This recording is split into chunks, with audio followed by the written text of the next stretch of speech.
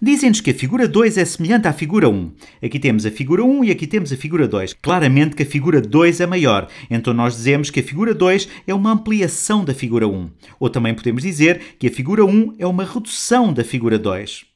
Se estas duas figuras são semelhantes, quer dizer que os lados correspondentes são diretamente proporcionais em termos de tamanho. O que é que são lados correspondentes? No fundo, são lados que correspondem, que de certa forma têm a mesma posição relativa em cada um deles. Por exemplo, aqui o lado EA corresponde aqui ao lado OP.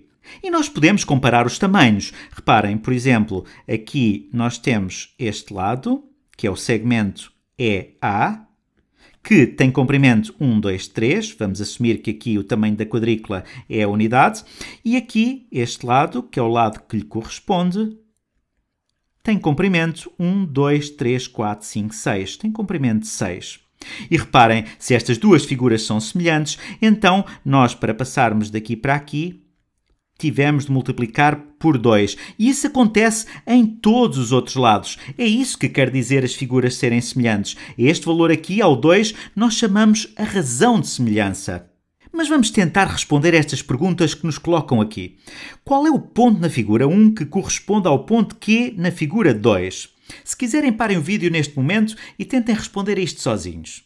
Então, o ponto Q na figura 2 está aqui, e nós temos de procurar o ponto aqui na figura 1 que lhe corresponde. De certa forma, aquele ponto que está na posição relativa que corresponde aqui ao ponto Q. Então, vai ser este ponto aqui. Vai ser o ponto B. O ponto B vai ser o ponto na figura 1 que corresponde ao ponto Q na figura 2. Agora perguntam-nos, identifica o lado na figura 2 que corresponde a DC, ao segmento DC, na figura 1. Mais uma vez, parem o vídeo e tentem resolver sozinhos.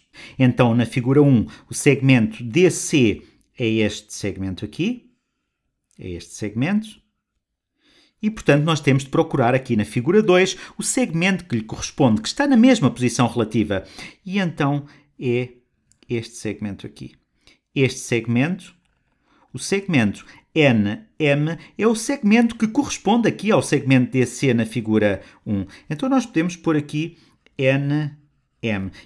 E podemos, mais uma vez, verificar aqui a razão de semelhança. Se as figuras são de facto semelhantes, então a razão de semelhança tem de se manter. Reparem, aqui temos um segmento com comprimento 1, 2, 3, 4, comprimento 4, e aqui temos um segmento de 1, 2, 3, 4, 5, 6, 7, 8, comprimento 8. E cá está, para passarmos de 4 para 8, temos de multiplicar por 2.